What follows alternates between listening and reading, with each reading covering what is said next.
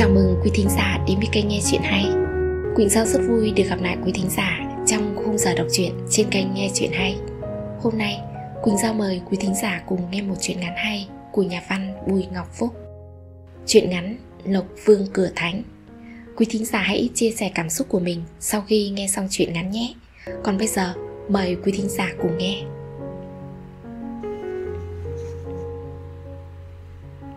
Lão hán ngồi dựa lưng vào cây muỗng già. Lão bắt đầu thở từng cơn mệt nhọc. Nhìn vào trong đèn Vẫn thấy đèn đuốc sáng choang. Lão muốn gọi to Nhưng miệng lão chỉ ú ớ không thành tiếng. Tiếng đàn, tiếng giáo hòa cùng tiếng cung văn Vẫn vọng ra rất rõ. Thêm cả tiếng con nhang đệ tử đang tấu lại cô vang lên. Tối nay tại đền cây thị có buổi lễ hầu thượng nguyên của cô Đồng Thanh. Một cô đồng tài sắc vẹn toàn, nức tiếng cả vùng Đà Bắc này. Khi cung văn ngân lên nốt cuối, tiếng đàn, tiếng phách cùng tiếng trống cũng theo nhịp rộn ràng như tiễn cô về trời. Trong phút chốc, đàn im phách lặng, đồng thăng cũng là lúc buổi lễ hầu cửa thánh chấm dứt. Trời về khuya nên cái lạnh thấu xương của miền núi khiến nhiều người phải suýt xoa. Các con nhang đệ tử cùng bốn cậu hầu dân và cung văn ngồi hút những bát cháo gà nóng hổi do nhà bếp mang lên. Đồng hồ lúc này đã chỉ sang ngày mới. Lúc mọi người bắt đầu chìm sâu vào giấc ngủ, cả khu nhà đều im lìm trong bóng tối. Chỉ còn ánh trăng khi mờ khi tỏ soi xuống sân đền. Từ phía xa, chốc chốc lại phảng tiếng chó sủa hóng, tiếng chim bát cô chói cột. Trên mái đền có mấy con mèo động đực gào lên những tiếng nghe thảm thiết, khiến cho không gian của đền mang màu sắc ma quái. Lão hán tỉnh lại sau khi liệm đi được một lúc lâu. Toàn thân lão ê buốt, còn từ phía tắt lưng trở xuống gần như mất cảm giác. Nhất là ở đôi chân. Lão nhìn quanh thấy mình đang ở trong căn nhà kho của đền. Nơi đây, lão thường hay cất đồ vàng mã. Dưới ánh đèn đỏ quạch, lão thấy khuôn mặt xinh đẹp đến ma mị của một cô gái chạc 25 tuổi. Lão nhận ra ngay đó là cô Đồng Thanh, người lúc chiều trước khi hầu đồng đã có buổi thương trà và đàm đạo chuyện nhân tình thế thái. Nhìn thấy cô Đồng Thanh, lão hán mừng rỡ, muốn nhờ cô gọi người dìu lên nhà trên để uống thuốc, vì lão nghi mình bị trúng gió. Ngày xưa, vùng Mường Chiêng còn hoang vu, dân cư thưa thớt, các bản của người Mường, người Thái ẩn hiện sau những vạt lúa nương. Nhiều người nhớ lại, hồi đó có một người đàn ông dưới xuôi đã lên dựng một cái đền nhỏ ngay dưới gốc cây thị cổ. Bà con trong vùng quen gọi là đền cây thị. Ngôi đền dựng ở một gò đất cao và hoang vắng, nhưng là thế đất rất đẹp. Lưng tựa vào núi, mặt hướng ra cửa sông. Người đàn ông thủ nhang ngôi đền chính là Lão Hán. Người qua lại chủ yếu là những lái buôn châu, mấy bà buôn chuyến. Lâu dần, các con nhang đệ tử dưới xuôi cũng biết đến mà tìm về hầu cửa thánh. Trải qua năm tháng, nhiều người cũng làm lễ trình đồng tại đây, khiến đền cây thị bắt đầu nổi tiếng và được những người căn cao số nặng tìm về. Đền cây thị được thập phương công đức nên bắt đầu xây dựng lại với tòa ngang dãy dọc khang trang và bề thế hơn rất nhiều. Lão Hán ngoài việc chăm no hầu cửa thánh, còn có thú vui là đánh sóc đĩa. Ngày trước ít tiền, đánh nhỏ, sau nhiều tiền, mỗi lần mở bát là tiền triệu.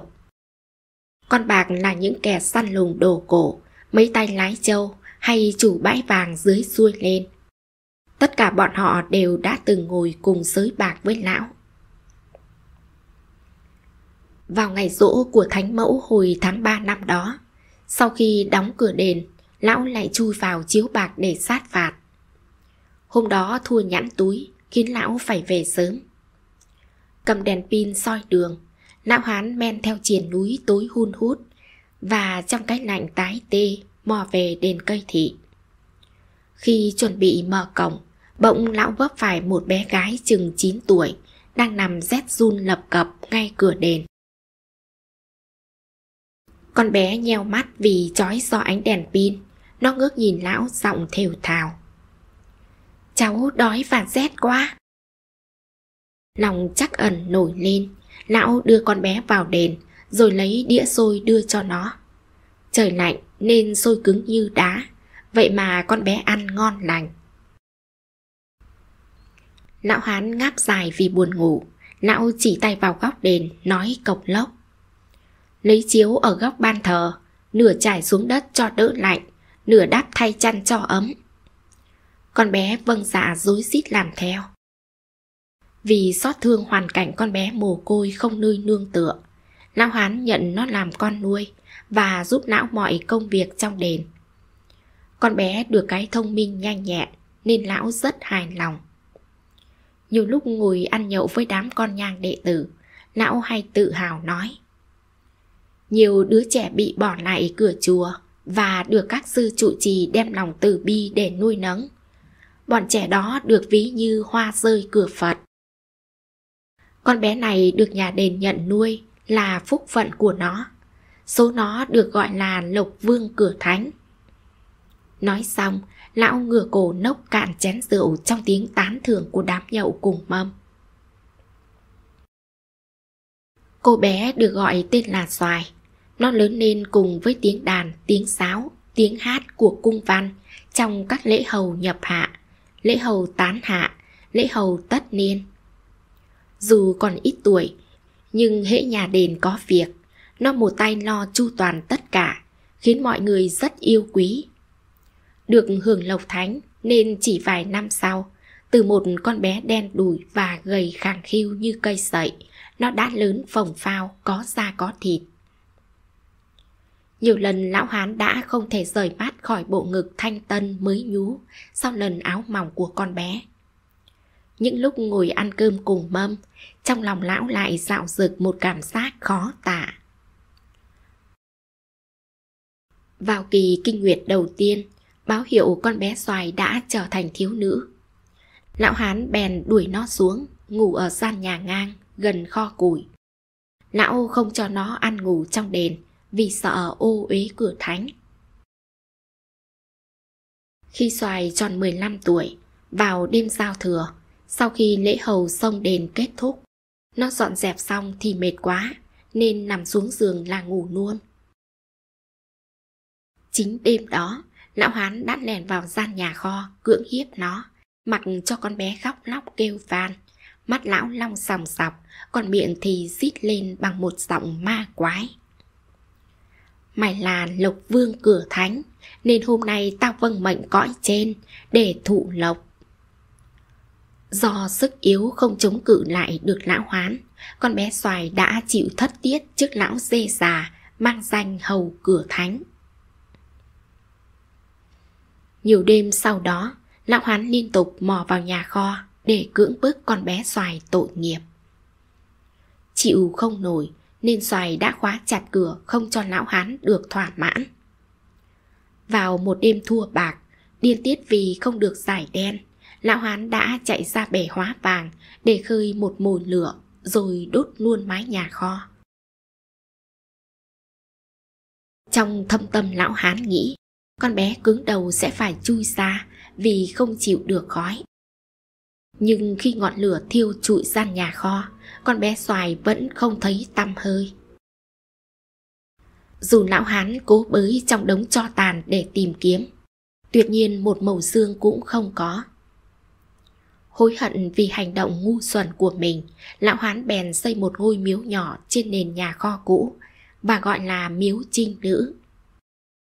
Ngôi miếu được các con nhang đệ tử quanh năm hương khói cầu cúng. Sự việc cũng dần chìm vào quên lãng cho đến hôm nay. Ngồi sát cạnh lão hán, cô Đồng Thanh từ từ cởi tấm áo bông màu tím. Bên trong, cô không hề mặc một chiếc áo nào. Khác với khuôn mặt khả ái, tấm thân trần của cô Đồng Thanh không nuột nà. Ngược lại, toàn bộ lưng và bộ ngực để trần đều nhăn nhúm vì chẳng chịt những vết sẹo do bỏng gây ra. Lão Hán trợn mắt kinh hoàng vì nhận ra cô Đồng Thanh xinh đẹp chính là con bé xoài ngày nào.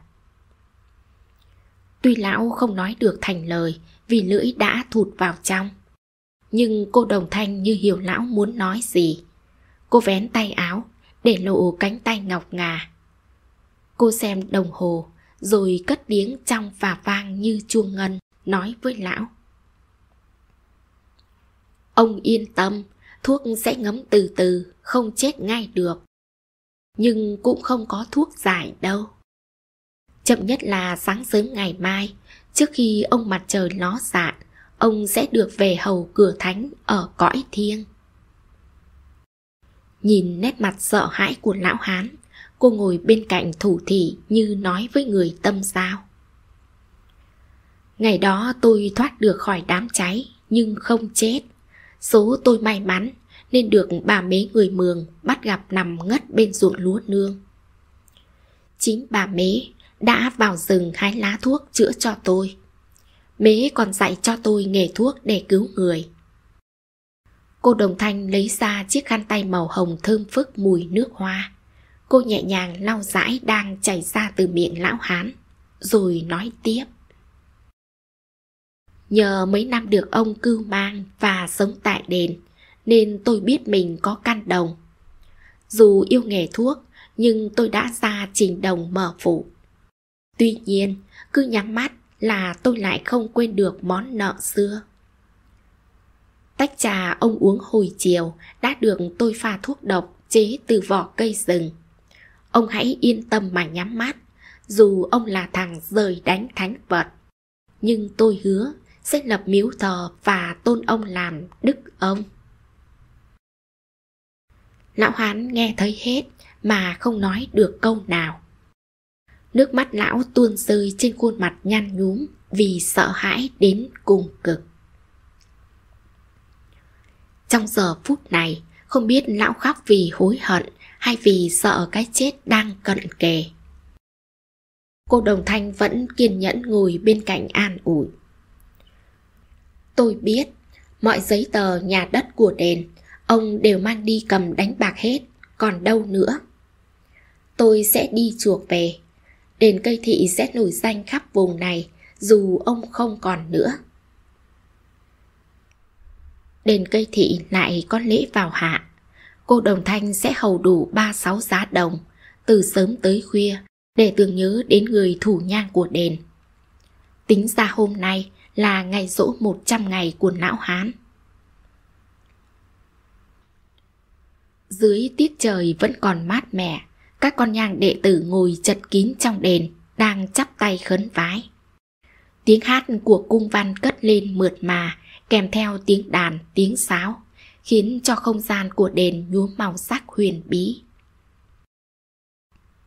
Gương mặt của cô Đồng Thanh bừng sáng bởi ánh đèn, ánh nến. Nó toát lên một vẻ đẹp quá đỗi liêu trai và ma mị, khiến ai nhìn vào cũng phải ngất ngây. Nhìn cảnh này thật đúng như câu thơ. Người về sắm sửa cho ma, ngựa xe khăn áo, lụa là kim ngân.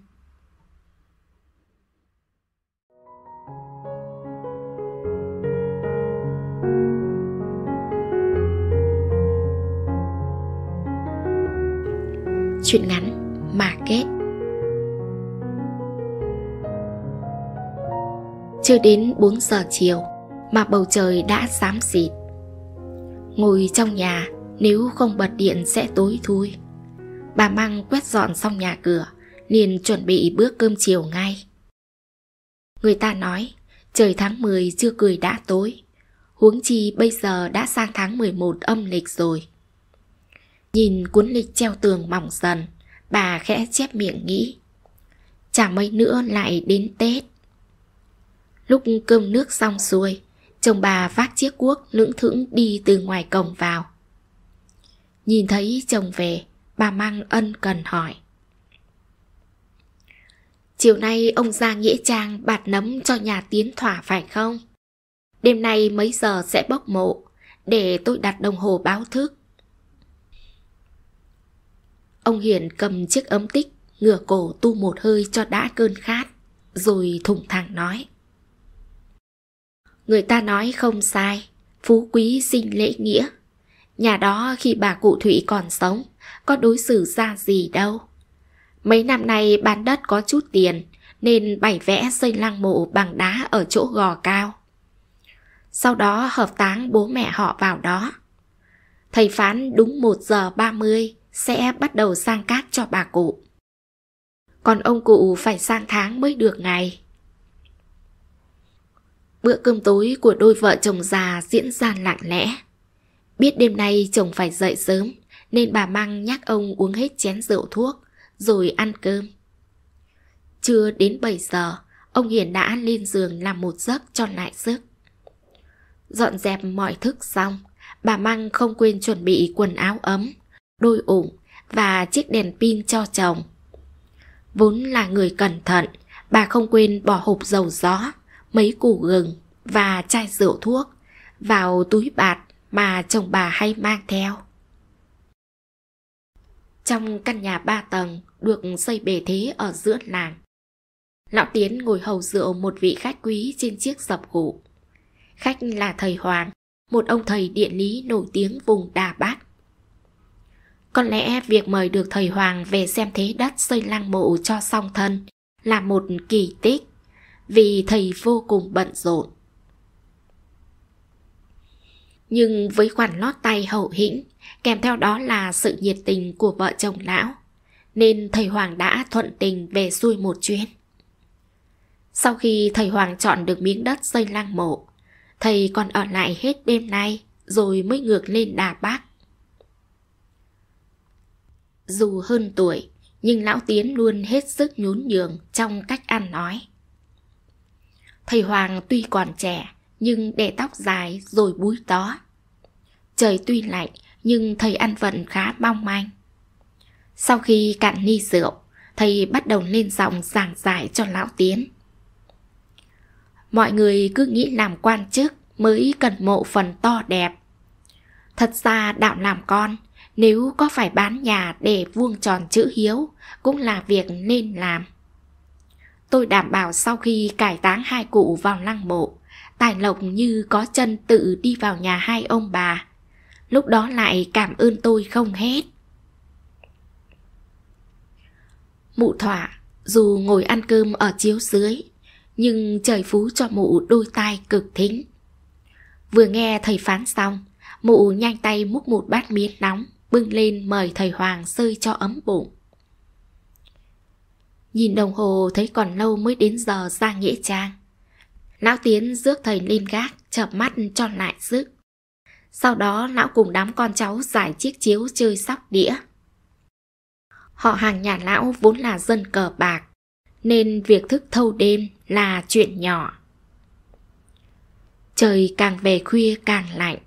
Trong lúc các con bạc mải mê sát phạt nhau, mụ thỏa bưng một nồi cháo gà lên nhà rồi dặn chồng. Ai đói thì cứ tự nhiên múc ăn, tôi cũng đi ngả lưng chút cho đỡ mệt. Khi nào đến giờ ra nghĩa trang, tôi sẽ báo mọi người. Ngoài trời cơn gió mùa đông bắc tràn về gây mưa rét, nhưng trong nhà lão tiến không khí như đặc quánh lại. Ngay dưới bàn thờ đang nghi ngút khói hương, lão tiến và đám con cháu họ mạc mải mê sóc đĩa. Có lẽ di ảnh của ông bà thủy từ trên nhìn xuống, họ chắc đang hết sức phiền lòng vì ông con rời đánh.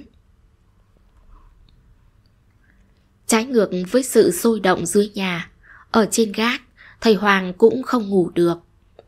Nhận được tín hiệu ngầm từ mụ thỏa, dù hơi nghi ngại, nhưng thầy cũng bị cuốn theo trò chơi tình ái với người đàn bà thừa tiền nhưng thiếu tình.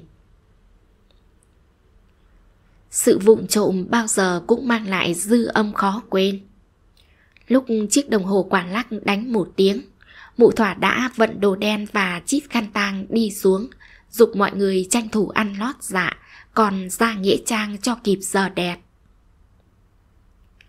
Đợi cho mọi người tề tựu đông đủ, Người quản trang bật ngọn điện treo ở cọc tre sát ngay cạnh mộ của bà cụ Thụy. Thầy Hoàng đứng trên huyệt mộ, nhìn xuống tấm ván thiên, rồi lầm nhầm như đọc thần chú. Sau khi bấm đốt ngón tay để tính toán, thầy quay sang nói với ông Hiển. Bác có thể cậy ván thiên được rồi. Chỉ đợi thầy nói vậy, ông Hiển tu vội ngụm rượu cho ấm bụng, rồi đốt một nắm hương lầm rầm khấn vái trước vong linh người đã khuất. Sau khi cắm hương xung quanh huyệt mộ, vợ chồng Não Tiến cùng đám con cháu cũng bắt đầu khấn vái. Giữa đêm khuya thanh vắng, bất chợt, mụ thỏa khóc hờ lên vài tiếng cho phải đạo làm dâu. Chỉ bằng một động tác dứt khoát, chiếc ván thiên xin màu đã được vứt lên trên mô đất. Vừa ngó vào quan tài, ông Hiền bỗng giật bắn người, còn lão Tiến rú lên. Ôi giời, mà kết! Dưới ánh đèn chiếu xuống, bà cụ Thụy dù mất đã 4 năm, nhưng thịt xương vẫn không tan. Cả người bà như được phủ một lớp sáp màu trắng đục. Đám con cháu cờ bạc kinh hãi, vội chạy lùi xa xa. Chỉ còn hai vợ chồng lão tiến mụ thỏa và thầy Hoàng đứng như trời trồng. Ông Hiền lúc này cảm thấy như có hơi lạnh chạy dọc sống lưng. Tranh thủ lúc gia chủ bàn bạc, ông Hiền châm đóm diêm vào cây đèn Hoa Kỳ, rồi khoan thai bắn một bi thuốc lào cho ấm phổi. Mấy đứa cháu họ lão tiến hỏi. Bác làm việc này không thấy sợ ma hay sao? Sau khi ngửa mặt lên trời phả khói, ông Hiền chậm rãi trả lời. "Ma chết còn nắm xương khô, sao đáng sợ bằng đám ma sống đang vật vờ? Thầy Hoàng sau vài phút đã lấy lại bình tĩnh. Thầy giảng giải cho hai vợ chồng lão Tiến bằng một giọng nhẹ nhàng nhưng khúc chiết.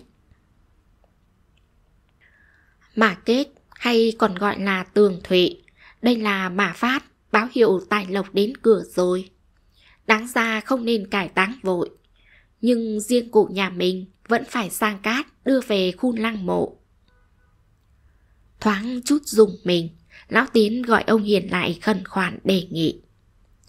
Thôi, vì đã mở quan tài nên vẫn phải cất bóc.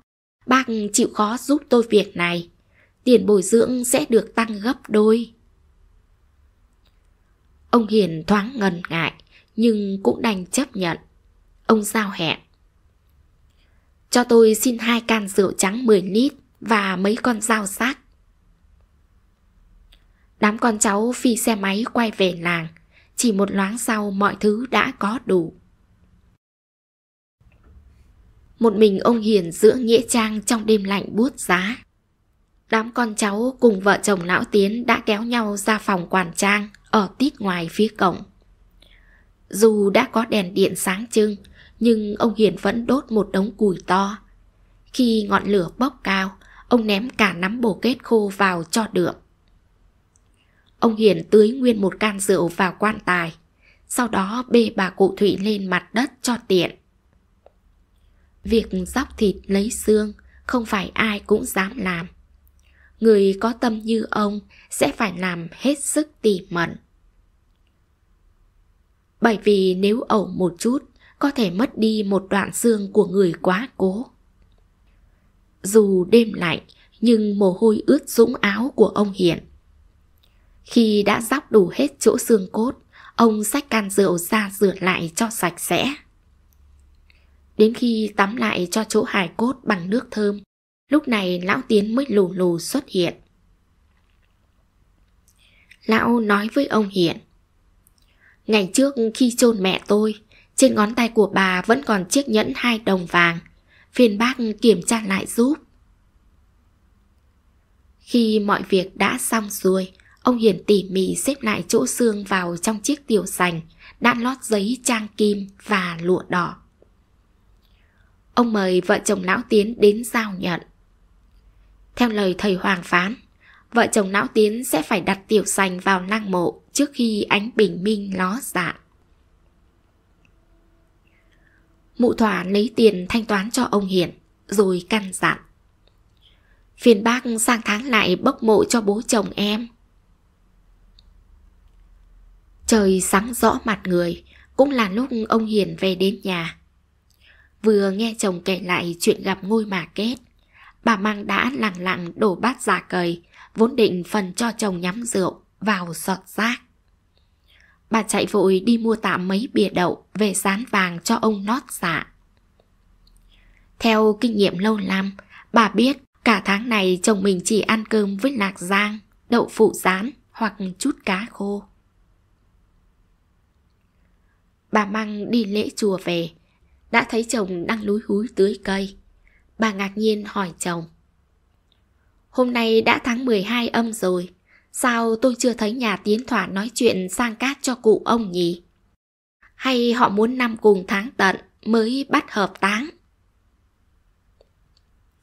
Ông Hiền bắn một điếu thuốc lào rồi giải thích với vợ. Nhà đó tan rồi, tưởng kết mà lại tan nhanh quá. Thấy vợ có vẻ không hiểu, ông Hiền nói rõ hơn. Lão Tiến thua sóc đĩa suốt 10 đêm liền, giấy tờ nhà cửa cũng phải gán cho chủ nợ. Đến chỗ bàn thờ và sập gụ già cổ cũng cắm hết rồi. Bây giờ còn tâm trí đâu mà nghĩ đến chuyện báo hiếu. Cuối năm các chủ nợ vẫn đang truy lùng giáo xiết, nên hai vợ chồng trốn chui trốn lùi. Bà Măng kinh ngạc hỏi lại chồng. Sao tôi nghe nói, ông thầy phán, gặp mà kết, tài lộc sẽ vào tận cửa nhà. Ông Hiền khoan khoái nhả khói rồi nói. Thì đó, lão thầy thâm nho nên đã phán tiền chỉ vào đến cửa nhà. Còn các cụ xưa đã dạy, tiền cờ bạc thì để ngoài sân. Kiếm được lắm, lại phá nhiều, nên tay trắng lại hoàn trắng tay. Mụ thỏa nghe nói đã lên mạng ngược chung trả với gã thầy điện lý rồi, còn lão tiến cũng bỏ xứ mà đi. Bà Măng thở dài. Cũng may cái lăng mộ bằng đá không bán được, nếu không nhà đó cũng mang gá bạc cho mà xem. Ông Hiền chép miệng. Cờ bạc máu me như vậy mà kết nào phù hộ cho thấu. Quỳnh Giao mời quý thính giả cùng nghe một chuyện ngắn hay của nhà văn Nguyễn Huy Thiệp. Chuyện ngắn Đời thế mà vui. Quý thính giả hãy chia sẻ cảm xúc của mình sau khi nghe xong chuyện ngắn nhé. Và để được nghe chuyện hay sớm nhất trên kênh, quý thính giả hãy nhấn đăng ký, bật chuông nhận thông báo. Còn bây giờ, mời quý thính giả cùng nghe. Ngôi nhà nhỏ ở trên đồi, cách đường cái ba chục mét. Ngôi nhà đơn độc, lẻ loi. Đằng sau ngôi nhà có hai cây nhội gai lá đỏ. Thứ cây mọc hoang chỉ dùng làm củi. Từ dưới chân đồi đi lên, ngôi nhà là một lối nhỏ xếp đá. Hết 20 bậc thì đến một bãi đất hoang. Người ta định san nền cho ngôi nhà mới, nhưng sao lại bỏ ý định ấy đi? Từ bãi đất hoang đi lên 16 bậc nữa mới đến ngôi nhà vừa kể. Ngôi nhà làm theo kiểu nhà ở tạm, cột bương, mái xanh, tường đất. Những người công nhân lâm trường dựng ngôi nhà này mấy năm trước làm chỗ trú mưa nắng khi đào hố trồng thông và bạch đàn. Trong nhà, đồ đạc nèo tèo. Đáng kể, chỉ là cái giường rẻ quạt gỗ mít đã sứt sẹo cả. Trẻ con dùng dao khắc lên thành giường những nỗi buồn và ước mơ của chúng. Nỗi buồn thì dứt khoát và sâu sắc, còn ước mơ táo tợn. Cuối giường có vết khắc chạm là của một tay đàn ông phóng đãng, in hình mũi tên xuyên qua trái tim. Chính giữa nhà là chiếc ban thờ làm bằng miếng tôn đóng nẹp treo lên tường. Bát hương là loại bát tô đựng miến. Xế bên trái ban thờ là chiếc gương với ảnh nữ tài tử Mai Diễm Phương, người Hồng Kông trên tờ quảng cáo phim. Chỗ ở ức cổ trắng ngần của Mai Diễm Phương có ghi một bài thơ của kẻ vô danh, lời lẽ tầm thường. Thời không có anh hùng, người không có chi âm, mỹ nhân đêm vỏ gối, gạt nước mắt thương thầm. Trong góc nhà đặt chiếc giềng sắt cho than nguội lạnh. Cạnh đấy là xô nước, nồi son, rổ đựng bát đĩa. Thằng bé ngồi ở trên giường, dựa lưng vào cái chăn bông. Nó chạc 6 tuổi. Trên nét mặt nó chưa có dấu vết của lòng cam thù hay sự đau đớn. Điều ấy phải sau nữa mới có. Cũng không có dấu vết của lòng độ lượng hay sự chán nản. Điều ấy cũng phải sau nữa mới có. Nét mặt nó vô sự. Thằng bé đưa mắt nhìn ra cửa. Mẹ nó khóa trái bên ngoài. Mẹ nó đi chợ mua sách bút để mai nó đi học. Nó học lớp 1, thằng bé nhùm người dậy. Nó tần ngần ngắm con tò vò xây tổ.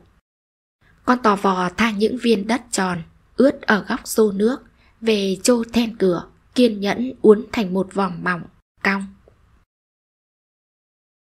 Nó bay đi bay lại hàng chục lần, không lần nào thay đổi hướng bay. Con tò vò vụt qua mặt thằng bé, nó nhận ra cái eo lưng thắt lại của con tò vò. Ở đấy có những ngấn tròn, con tò vò cái. Trong trí óc non nớt của thằng bé xuất hiện hình ảnh mẹ. Bụng mẹ nó nhẽo, cũng có những ngấn tròn. Sáng nay mẹ nó đi nhờ xe chở than của chú Hào. Thằng bé không thích chú Hào. Chú Hào dâu xồm Chú nói. Đồ đĩ, béo nứt bụng. Mẹ nó cười. Chú Hào lại bảo. Gái xe. Đồ mặt chó. Mẹ nó lại cười. Con tò vò lại vụt qua mặt thằng bé. Đôi cánh của con tò vò có màu vàng phơn phớt. Ở gò má mẹ nó cũng có vết lõm màu vàng phơn phớt. Nó sờ vào chỗ ấy và thấy ngón tay ướt. Chú Hào nói, nước mắt đàn bà, nước đái bò. Mẹ nó lại cười. Rồi mày cũng bỏ tao mà đi thôi con ơi. Mẹ nó nói, như thằng bố mày. Tò vò mà nuôi con nhện, ngày sau nó lớn nó quện nhau đi.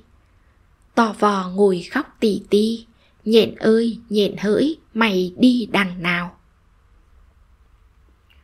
Thằng bé hỏi mẹ, bố đi đâu? Mẹ nó thở dài, bố mày là sói, bố mày đi kiếm ăn, bố mày đi theo gái. Thằng bé có lần đã nhìn thấy sói. Con sói chạy ở ven rừng, bồn chồn, sốt ruột, đuôi cúp lại, lưỡi thè ra. Nó sợ hãi. Nó côi cút.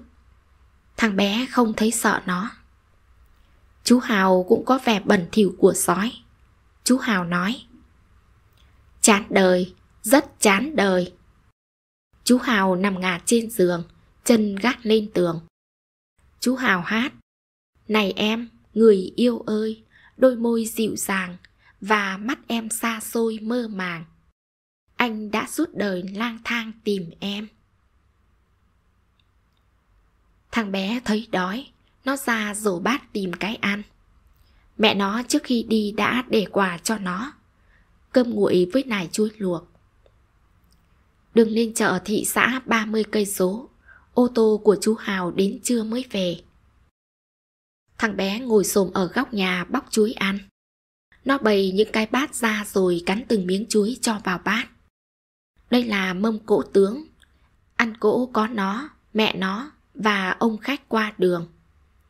Có lần trời mưa, ông khách qua đường đã vào nhà nó. Mẹ nó nấu cơm cho ông khách ăn. Ông khách cao lớn, cười nói sang sảng, đi đứng rung chuyển cả căn nhà. Ông khách nói, vô nghĩa hết, làm gì có vàng mà đào. Tôi đi xem thiên hạ đào vàng, vừa khinh bỉ, vừa đau đớn, vừa buồn cười. Chỗ nào cũng tàn ác, dâm dục, đều giả, tham lam. Ăn đi ông, mời ông sơi miếng phao câu. Thằng bé ăn một miếng chuối, nó mời. Ăn đi. Ông khách cười. Thằng này khá, làm thân nam nhi, vượt qua một bể lừa lọc, vượt qua một bể tình ái, đời nát toét ra. Kẻ nào có phao là đồng tiền hay lòng nhân đức còn đỡ, không có phao sớt lắm. Lửa thử vàng, vàng thử đàn bà, đàn bà thử đàn ông, đàn ông thử ma quỷ với thánh thần. Hóa ra ma quỷ hết, thánh thần ít lắm. Thằng bé nhớ đến con sói đi ở ven rừng, đuôi cúp lại. Ông khách ôm thằng bé vào lòng, gõ nhịp hát bài hát của bọn người đi đào vàng. Khi có vàng là ta có ăn, ta có chơi, đời thế mà vui. Khi có vàng là ta hết đời, ta hết hơi, đời thế mà vui. Thằng bé không ăn nữa, khách đến rồi khách lại đi. Chào cô, chào Phật bà Quan Âm, chào Bồ Tát, tôi đi nhé. Mẹ con cháu chào ông. Ông đi chân cứng đá mềm, ông đi về quê hay đi đâu ạ? À? Về quê làm gì? Ông khách cười khẽ. Tôi còn đi nữa. Đời thế mà vui. Về quê làm gì? Lòng người đen bạc, đất đai khô cằn. Thằng bé không biết gì về làng quê. Mẹ nó hứa nhiều lần sẽ đưa nó về thăm quê, nhưng chẳng bao giờ mẹ nó đủ tiền. Mẹ nó nói ở quê có nhiều người quen. Ông bà chết rồi nhưng vẫn còn mộ. Mẹ nó sẽ về thắp hương. Rồi chú, bác, cô dì. Những bạn bè của mẹ nó như cô Lượt, cô Na, chú Sửu, cậu Bền. Chú Hào cũng hay nói chuyện về thăm quê. Chú Bảo đã về thăm quê ba lần, mỗi lần về lại buồn thêm một chút. Chú Hào bảo, quê tao có cái đình rất to, hội đình vui lắm. Các bà các chị đứng xem đàn ông vật nhau. Hồi còn bé, bạn bè đố tao hễ cứ phát vào đít một cô lại được một hào. Mỗi kỳ hội, tao có vài trăm tiền tiêu, tha hồ ăn quà. Mẹ nó cười, ba tuổi xanh đã dâm. Chú Hào cãi, đấy là bọn có tiền nó dâm chứ. Tôi phận nghèo hèn phải bỏ quê xa đi là cơ nhục lắm. Mẹ nó bảo, sao bảo chú bỏ quê xa đây là vì đi theo gái? Chú Hào bảo, đồ đĩ, đồ mặt chó, nói thế cũng nói. Chú Hào hát, ta ra đi, ta ra đi, đâu nề trông gai, tiến lên đi, tiến lên đi, tung hoành sức trai, chí ta lớn cao ngất tầng mây. Mẹ nó cười. Tôi còn lạ gì đàn ông. Các người đi tìm vàng, tìm gái, chứ chí lớn khỉ gì. Chú Hảo bảo, đồ đĩ, đồ mặt chó, nói thế cũng nói. Chú Hạo lại hát, tiến lên đi chân trời rực hồng, thân nam nhi vị trí tang bồng, coi cái chết tựa như lông hồng, kìa mấy ai ra ngựa bọc xương. Thằng bé đứng lên, nó dòng tai để ngóng tiếng xe ô tô. Nó biết làm thế vô ích. Mẹ nó còn lâu mới về. Không có âm thanh nào lọt vào nhà ngoài tiếng gió. Tiếng gió thổi khẽ, từng đợt như có người ngáy khẽ. Nó nhận ra bởi những phên xanh va đập vào nhau. Thằng bé ngẩng mặt nhìn lỗ hở trên mái nhà lỗ hở bé chỉ bằng đồng xu. Ánh trời lọt vào nhà qua lỗ hở vạch một vệt sáng thẳng đầy những hạt bụi bé li ti. Thằng bé xòe tay hướng về sáng, vệt sáng đầy lòng tay nó. Thằng bé nhớ khi ông khách vốc nắm đất trong tay, ông khách bảo mẹ nó. Chỗ đất này biến được thành vàng là xong cuộc chơi hùng. Đàn ông thường anh nào ở đời cũng mơ như vậy. Vô nghĩa hết. Tiền mà làm gì? Mẹ nó nói. Đàn bà chúng tôi sống chỉ vì tình. Chú Hào bảo, đồ đĩ, đồ mặt chó, nói thế cũng nói. Ông khách lắc đầu. Có được tình tốn sức lắm đấy. Có khi trả cả cuộc đời cho người ta mà không trả đủ. Mẹ nó khóc. Đàn bà chúng tôi nhẹ dạ lắm, trong lòng lúc nào cũng thấy trống vắng. trong lòng lúc nào cũng thấy thiếu tình thương. Ai nói đến tình thương là bọn chúng tôi gục đầu vào ngay, chẳng biết đất trời gì nữa. Ông khách cười. Thế mới khổ, thế mới đích thị đàn bà. Chú Hào bảo, thế mới chết, đổ đĩ, đổ mặt chó. Chú Hào cười, đàn bà là giống yêu tinh ác độc, nên trong lòng nó mới thấy thiếu tình thương. Còn đàn ông bao giờ thiếu tình thương đâu? Hoan hô đàn ông, hoan hô dê cụ. Ông khách bóp nát nắm đất, tung ra như gieo mạ. Ông khách vung tay, bay đi, bay đi lòng căm hờn, bay đi xảo trá, bay đi bất công, bay đi dục vọng đê hèn.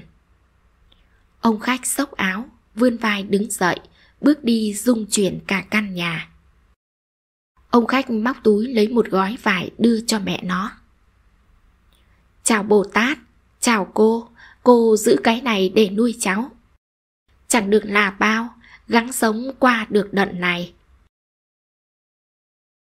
Ông khách cười, giơ tay làm một cử chỉ khó hiểu như biểu tượng.